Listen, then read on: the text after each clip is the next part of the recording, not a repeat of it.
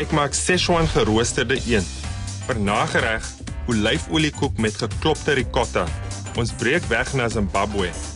Ek wys jou hoe om steak perfek in 'n pan te braai. Die bestanddeel is heuning. Ons gesels oor keramiekpottebakkery en dan is daar meer as 140 000 rand se pryse op die spel. 5 sterre met Ruben, Dinsdae om 5:30.